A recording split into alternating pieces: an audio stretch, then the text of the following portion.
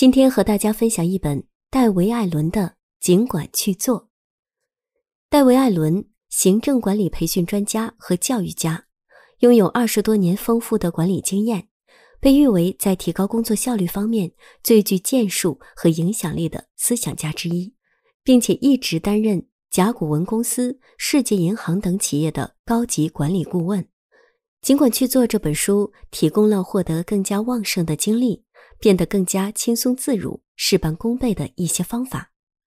作者在本书中揭示的方法，在各类企业中，在每一类工作中，在不同的文化氛围中，甚至在家庭和学校里，都已经被证明是功效卓著的。读完本书，你会发现无压力工作的力量。当你把一颗石子扔到水里时，水会发生什么反应？石子的质量和投掷的力量完全吻合，水不会反应过度或反应不足。但是，当我们在生活中遇到有压力的事情时，我们往往会受到压力的控制，从而导致我们意想不到的反应。例如，如果你已经被堆积如山的任务压得喘不过气来，而一封新增的邮件又加重了你的任务量。你可能会感到不知所措，并草率的回复。但是，如果你有一种像水一样的状态，对邮件或其他你遇到的事情不会反应过度或不足，而总是恰当的回应，那不是很好吗？为了达到这一目标，你需要获得一种对所有工作的控制感，这就是尽管去做，也称为 GTD 方法的作用所在。GTD 建立在简单的原则上，比如做一个全面的任务清单，为工作制定清晰和切实的下一步行动等。它解放你的大脑去解决问题，并让你的所有任务，无论是个人的还是工作的，向前发展。通过本书，你不仅会发现如何使用 GTD 来更好地安排你的工作，你还会了解一些关于生活目标的基本问题。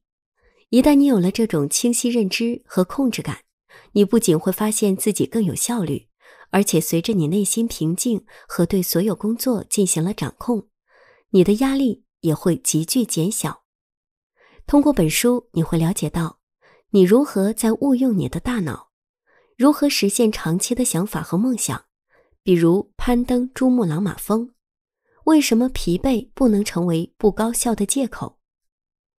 我们的大脑善于思考，但不善于记忆。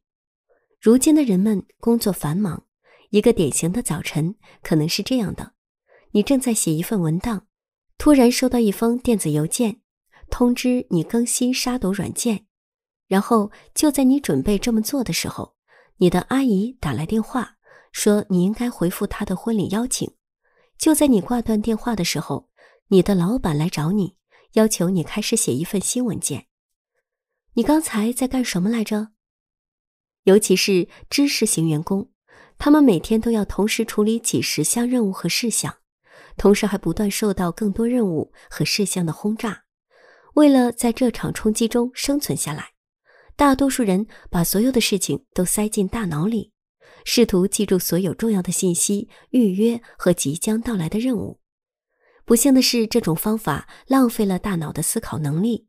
用一团乱糟糟的信息把大脑也搞得一团糟，而且试图记住所有事情，最终会导致你无法完全专注于手头的工作，因为你的大脑仍然会试图解决所有你该做却还没做的事情。不管你愿不愿意，你的大脑都会不断的提醒你这些任务还没有完成，这会让你分心。当记住要付这个月的电费这样的想法不断打断你的思路时，你就无法集中注意力。那么，怎样才能掌握现代职场的任务、会议和信息网络，让你真正专注于你正在做的事情呢？这时候就需要用到 GTD 方法。通过一个具体而强大的五个阶段的工作流程，你可以重新控制一切。一、收集阶段。记下你的想法，而不是把所有的想法、代办事项、决定等全都塞进你的大脑中。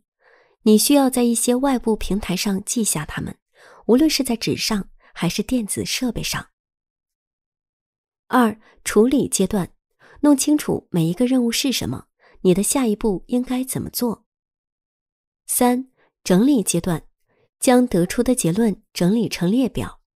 四、检查阶段，反思什么对你来说是重要的，回顾列表里的任务。五、执行阶段，着手去做你的任务，选择你希望采取的行动，然后去做。GTD 方法就是这么简单，它能让你对自己的工作有一种更强的控制感。在面对变化的环境时，具有更放松的心态、更好的决策和更大的灵活性。但是在深入了解 GTD 过程中每个步骤的细节之前，让我们先设置一下工作空间和工具。为了全面应用 GTD 方法，你需要正确的工作空间、工具和归档系统。开始使用 GTD 方法的一个很好的地方是你自己的工作空间，在那里所有的相关材料都是可用的。那是一个你可以自己控制的空间，会让你舒适的进行工作。你还需要在家里和办公室里设置相同的工作空间，这样你就可以在这两个地方都同样高效。如果你花了很多时间在路上，你可能需要考虑一个移动设备。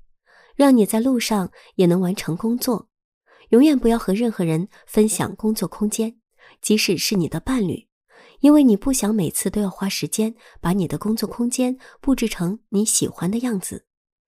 你至少需要一个写字台和一个收纳空间，一些基本的必需工具，包括资料存放框、纸、笔、便利贴、回形针、卷尺、订书机、打铅机、文件夹、日历。和废纸篓，这些都是除了手机或电脑等用来记录和安排任务的设备之外的工具。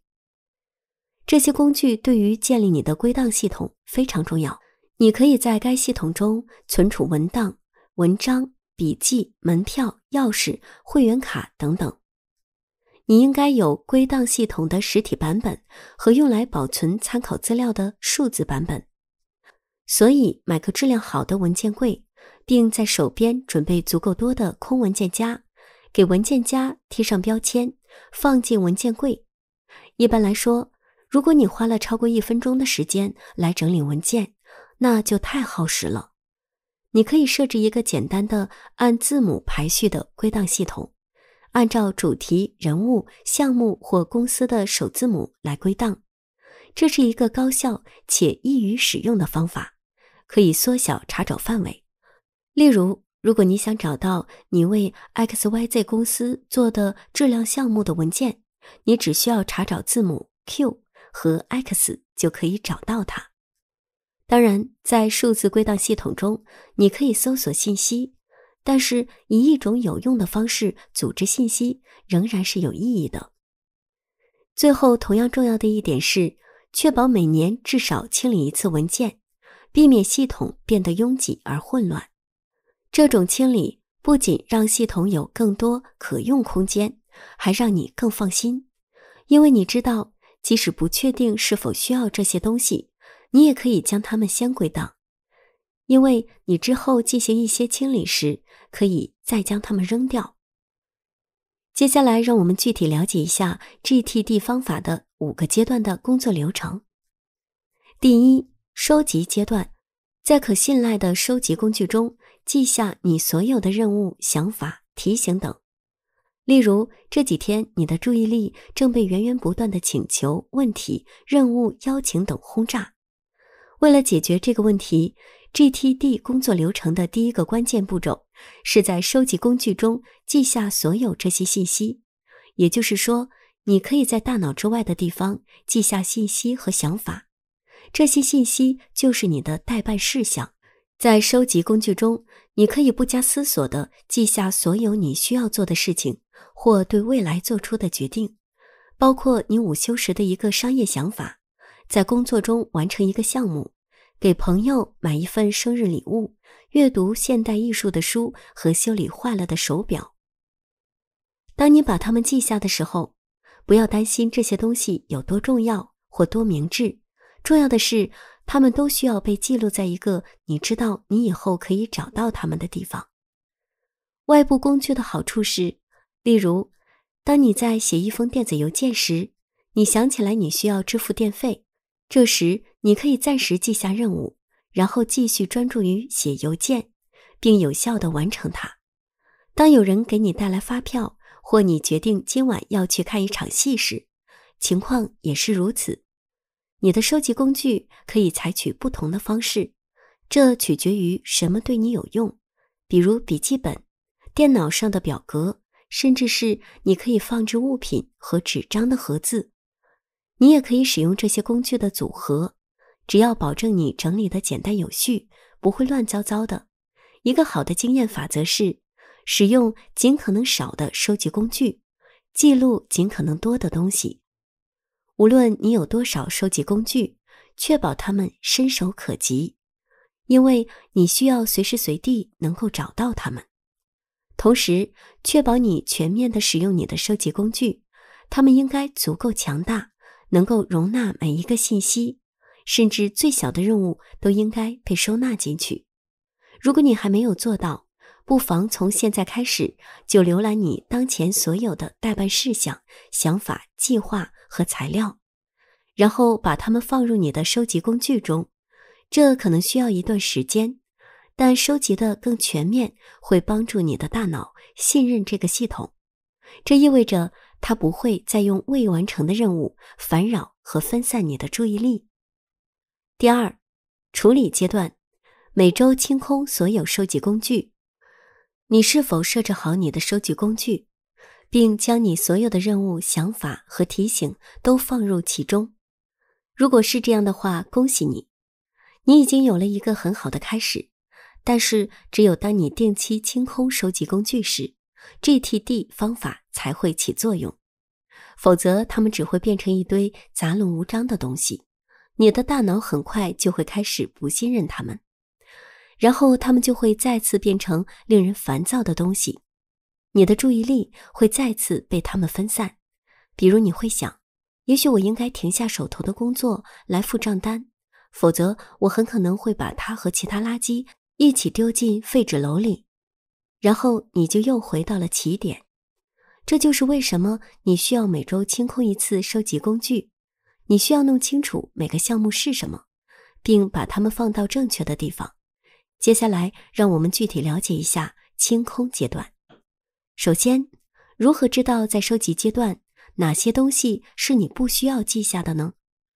先看看你收集工具中的每一个项目，然后简单的问自己：它是什么？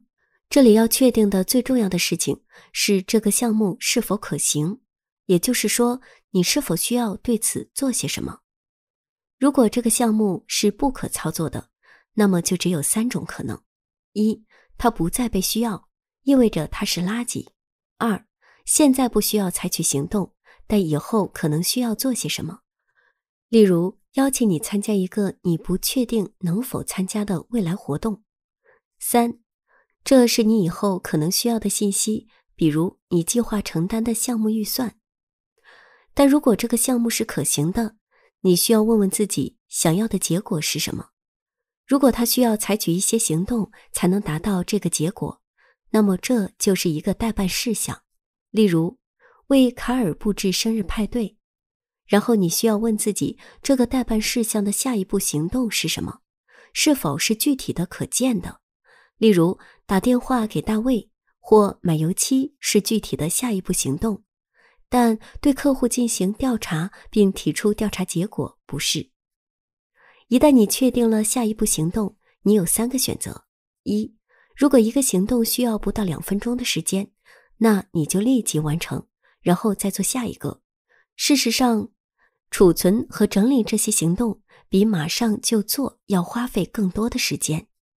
二，如果一个行动需要超过两分钟的时间，考虑一下你是不是做这件事的合适人选，如果不是，把它委派给合适的人。三。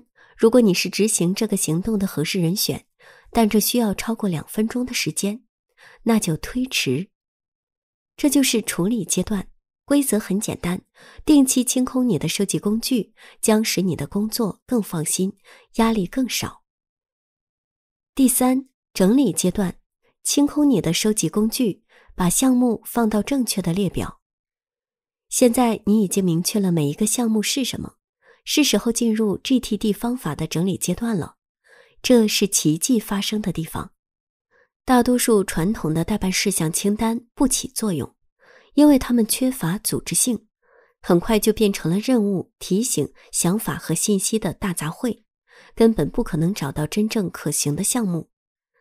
GTD 管理阶段的每一步都将在接下来的内容中详细介绍，但之前请先回顾一下在清空阶段所做的选择。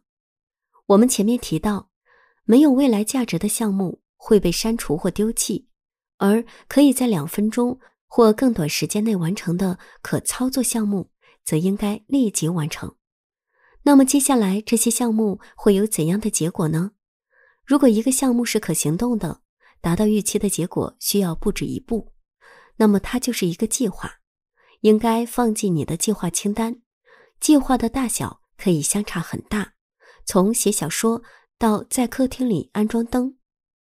如果一个项目是你委派给别人的，那么它应该被放到代办清单上，比如你在选择浴室瓷砖之前，需要听承包商的意见。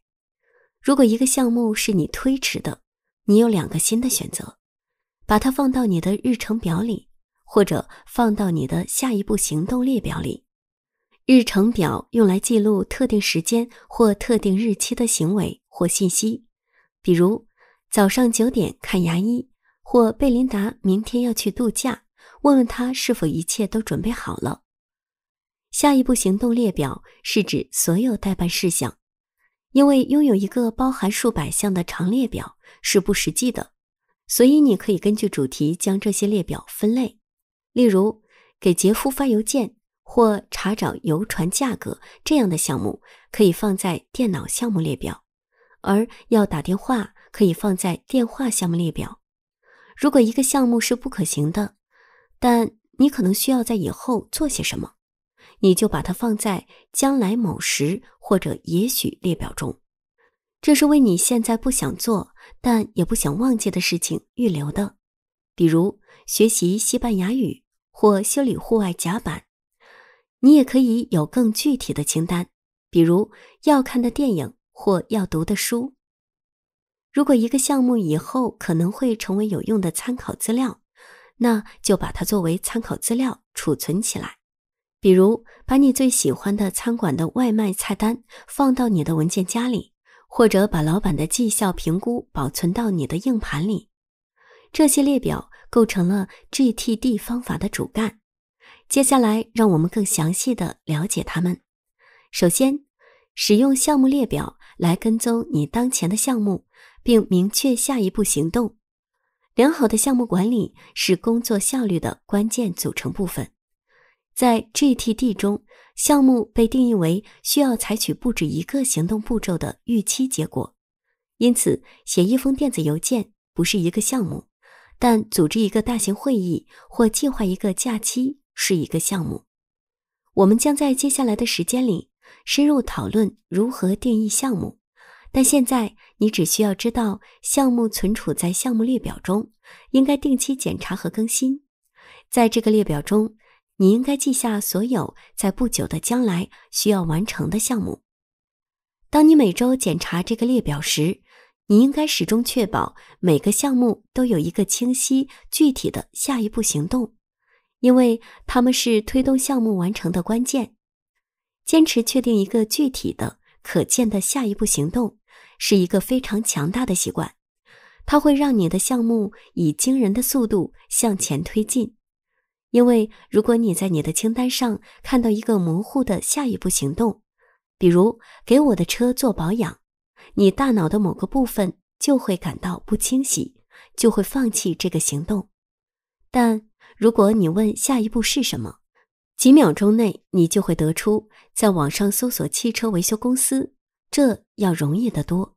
一旦你确定了要采取的行动，就把它储存在你的日程表或下一步行动列表中。确定下一步行动是一个非常强大的习惯，你甚至可以在项目管理之外使用它。例如，你应该让它成为会议的标准练习，在每次会议讨论的时候，你都可以提问：下一步是什么？谁将在何时采取行动？如果没有对这个问题的明确回答，那么讨论应该继续下去。尝试一下这种方法，你可能会对你所看到的工作效率的飞跃感到惊讶。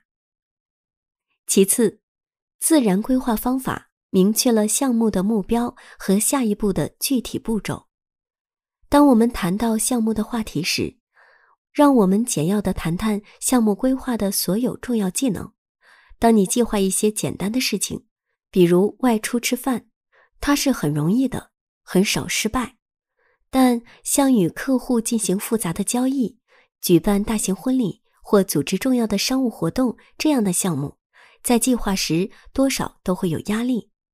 那么，怎样才能让计划一项重大工作项目像计划晚餐一样轻松愉快呢？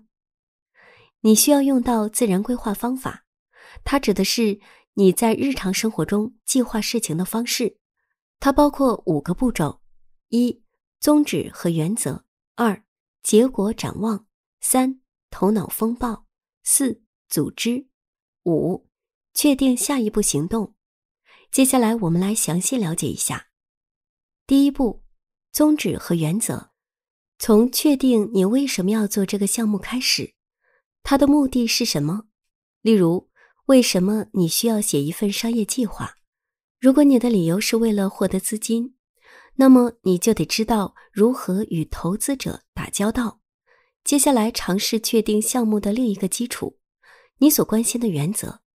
例如，也许你有这样的原则：你的团队不能感到工作过度，或者结果必须在道德和财务上都是合理的。在项目过程早期确认这些原则，将使得在这些原则内工作更容易。第二步。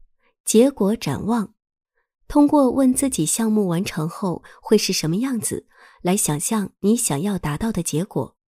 一个明确结果的例子是将公司的销售额提高百分之五。以这种方式确定目标，有助于你专注于项目，而专注将帮助你获得成功。第三步，头脑风暴，集思广益，想出实现目标的方法。一旦你确定了目标，想法就会自动的出现在你的脑海里。不要停下来去评判他们，让他们自由的发展，但一定要把所有想法都记下来。在真正的头脑风暴中，追求数量而不是质量，这将最大限度的提高你想出好点子的可能性。第四步，组织，组织你的想法。找出最重要的，并进行分类。排序的方法可以是自然的排在一起，或者按照发生的顺序，或者按照优先级。例如，你可以把所有与市场研究相关的想法，或者在考虑其他想法之前需要清空的想法放在一起。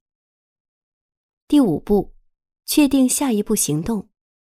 确定下一个可以推动项目向前发展的具体的、可见的行动。如果你的项目有很多组成部分，那就每个部分都问问自己或其他人，现在是否可以行动，并在此基础上创建下一步行动。例如，如果你的项目是增加百分之五的收入，下一步可以是给戴夫发邮件，询问当前的收入细分情况。这可以推动你的项目继续进行。当人们第一次使用这五个简单的步骤时，它的力量常常让他们感到惊讶。你可以尝试一下，想出一个你想做的项目，拿起笔和纸，开始思考为什么你要做这个项目。当你对项目计划有信心的时候，你就知道这个项目已经准备好了，你就不会再对它苦思冥想。如果你对结果或接下来的行动仍有疑问，你可能会发现自己仍在思考这个项目，这表明你还没有完成。另外，用日程表和下一步行动列表代替每日待办事项列表。许多人依靠每日待办事项列表来提高他们的效率，但这种方法还是有很多的不足之处。这样的列表往往会失败，因为你无法提前真正知道自己在特定的一天里能够完成什么，因此他们会导致不切实际的计划、挫败感。和浪费时间去做那些在你开始之前就注定要失败的事情。更有效的方法是使用日程表和一个或多个下一步行动列表。先来了解一下日程表，它只有一个目的：履行约定。你应该把它当成一个神圣的地方，为你的其他项目计划提供一个空间。它应该只包含以下类型的项目：一。特定时间的行为，比如预约医生；二、特定日期的行为，比如在同事休假前的最后一天给他打电话；三、特定日期的信息，比如你去看医生时需要携带的文件。日程表上不会有其他待办事项，因为它们只会影响那些特定时间或特定日期的事项的重要性。所有其他的任务或具体的行动都应该放在你的下一步行动列表中。它可以管理你将要承担哪些任务的核心。在这个列表里放置所有需要超过两分钟完成的项目。根据列表上的任务数量，根据主题，例如打电话、在超市或使用电脑，将其分类为多个列表。因为如果你根据主题来安排你的任务，你就会知道，在办公桌前、会议上或在机场等候时该做什么。当我们进入 GTD 的执行阶段时，下一步行动列表可以让你在空闲的时候快速决定要做什么任务。此外，当你和其他人一起工作时，等待列表是非常有用的。我们在前面提到过，当前的所有项目都应该放在项目列表中。当你使用下一步行动列表时，你可以确保你一直在做那些每次都让你的项目接近尾声的任务。但通常情况下，你也需要依赖他人。例如，你可能需要等待同事为你打开演示屏幕，或者从酒店得到关于房间是否可以预定的反馈。然而，这并不意味着你必须放弃对相关项目进展的所有控制。每当你依赖于别人的工作时，例如你在等待同事给你发送一些用于演示的数据，你应该做一个等待列表，记下其他人要交付给你的所有事项以及截止日期。如果你每周检查和更新这个列表，你会注意到有人没有遵守承诺，没有在特定时间内完成特定任务。在这种情况下，你必须提醒那个人。你可以通过电子邮件、简短的电话，或者去同事的办公室，温和地提醒他应该发送的数据。如果这样做的时间不到两分钟，那就立即行动；如果超过两分钟，就把它写在下一步行动列表上。最后，所有与未来相关的想法都应该放在一个将来某时或者也许列表中，或者放在一个备忘录中。GTD 方法的另一个重要组成部分是将来某时或者也许列表。所有不符合下一步行动列表或项目列表，但也不应该萦绕在你脑海中的事情，都可以放在这个列表里。它包含了所有你还没能转化成具体想法或任务的事情。一般来说，将来某时或者也许列表上的内容，可能是为你的家购买或建造的东西。你希望进行的旅行，你希望学习的技能等等，比如攀登珠穆朗玛峰、学会弹吉他或精通日语。尽管这听起来像是一份不太重要的清单，但不要低估将来某时或者也许列表的优势。它可以帮助你跟踪那些在未来可能非常重要的项目想法。你可能会惊讶地发现，你竟然做了这么多事情。但你无法在时机成熟时采取行动，除非你在灵光一现时就把它们记下来。你也可以把列表分成一些子类，比如看电影、品尝葡萄酒和孩子一起做事情。就像所有的 GTD 列表一样，如果你想要有效利用将来某时或者也许列表，你必须定期检查和更新它。另一种提醒自己将来想做的事情的方法是做一个到期备忘录文件，它可以通过在特定时刻给你发送信息来提醒你。备忘录文件是一个非常精确和有逻辑的文件系统。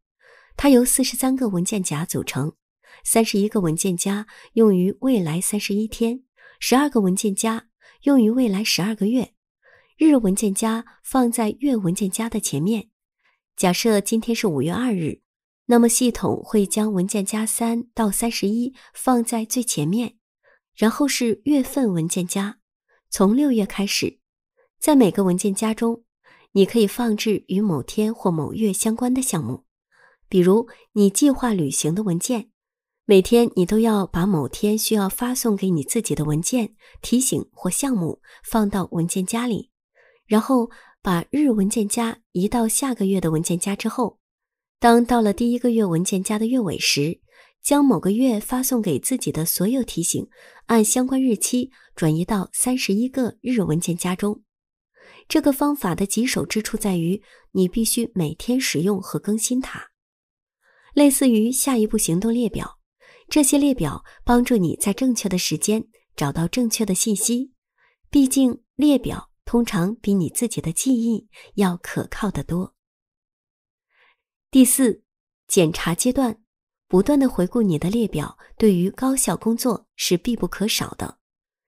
我们现在已经了解了如何组织你的任务、项目、提醒和想法。是时候继续进行 GTD 方法的第四步检查。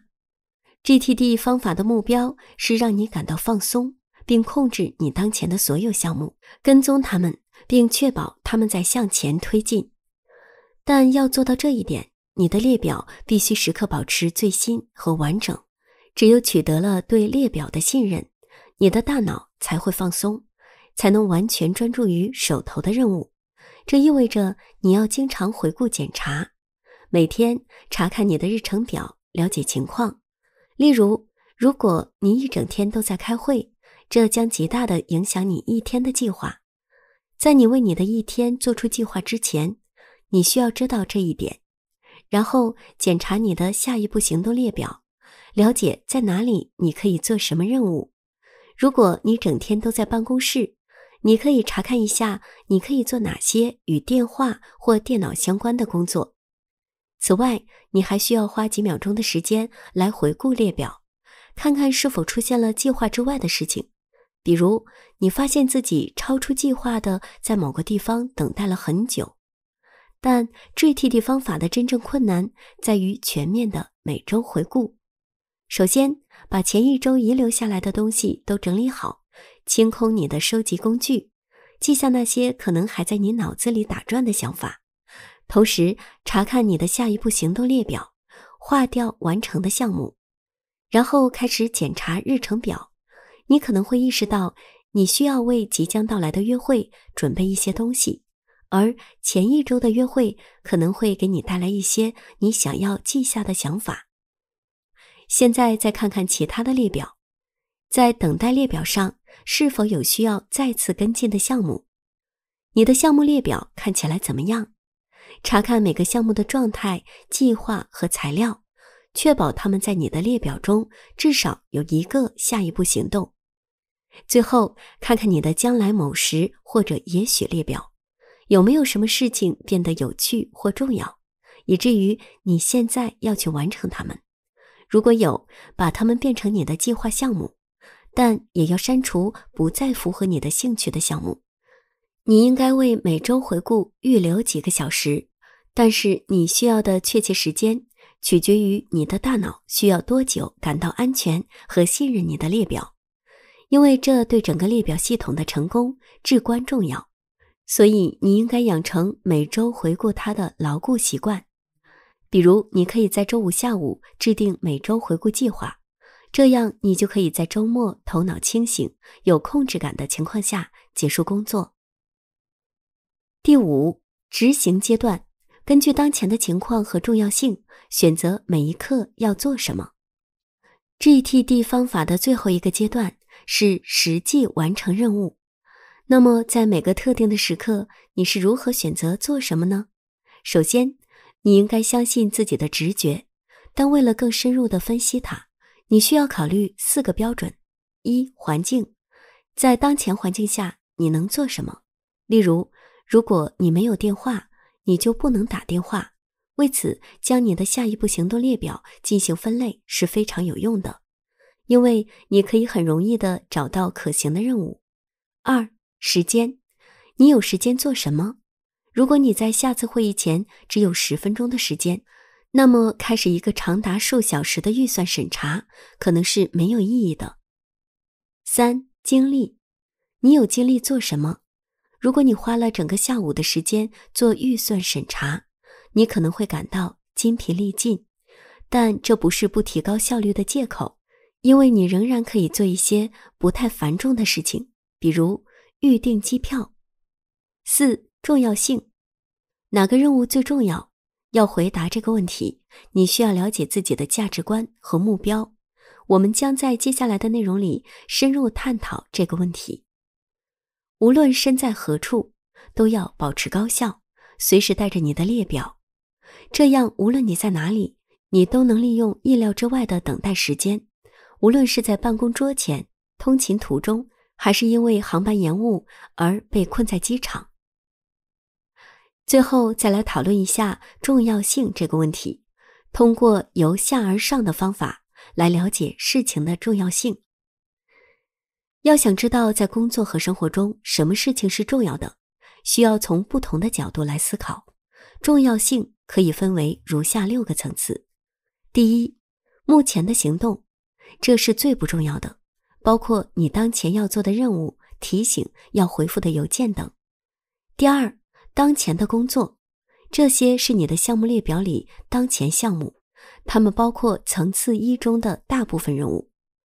第三，工作重点和责任范围，你承担的项目是基于你所拥有的职责和角色，这些都是你想要取得成果的领域。在工作中，这些可以是领导力、战略规划。或市场研究，在家里，他们包括你的健康、财务和家庭关系。你永远不会完成这些，但他们会引导你的行动方式。如果你意识到有一个任务没有出现在项目列表中，你可以考虑为它添加一个项目。第四，一到两年的目标，设想一到两年后你想要的生活状态。这些目标会影响你的工作重点和责任范围，在工作中获得关键的晋升就是一个很好的例子。第五，三到五年的计划，这是一个三到五年的时间框架，在这个框架中，你不仅需要考虑你想在生活中达到什么水平，比如你的长期职业或家庭愿望，还需要考虑什么外部因素可能会影响你的生活。比如技术发展。第六，生活目标，这是最重要的。比如你为什么存在？你生活的目的是什么？前五个层次都受到这个答案的影响。你所承担的所有任务都将引导你走向它。有些人认为从你的人生目标开始行动是合理的，但在实践中，由下而上的方法往往更有效。它让你首先处理日常生活中更细节的事情，这样你就可以为更重要的事情节省你的创造力。当你听到这里的时候，你对自己现在的生活状态有什么想法吗？如果有的话，把它们记下来。也许他们中的一些就到了你的将来某时或者也许列表里，或者你可能决定制定新的项目，例如。和你的伴侣起草一个梦想计划，或者找一个私人教练来谈论你的生活目标。当然，即使你已经确定了项目的重要性，你仍然需要定期回顾它们，从每天回顾最不重要的事情，到每年回顾最重要的事情。最后总结一下本书的主要内容：GTD 方法能让你以轻松的方式处理大量的任务，轻松管理你的工作。GDT 方法的五个关键步骤是：一，在你经常清空的外部收集工具中记下你的想法，这会让你的大脑得到解放，去做它真正擅长的事情——思考和解决问题。二，弄清楚每一个项目是什么，你可以用它做什么。三。将结果组织成一个列表结构，比如日程表和项目列表、下一步行动列表、将来某时或者也许列表和等待列表。四、反思什么对你来说是最重要的，回顾一下列表中的项目，这是至关重要的，因为它确保你的大脑继续信任列表。五、执行任务。根据当时的环境、时间、精力以及重要性，选择你可以做的事情。好了，尽管去做，就给大家分享到这里。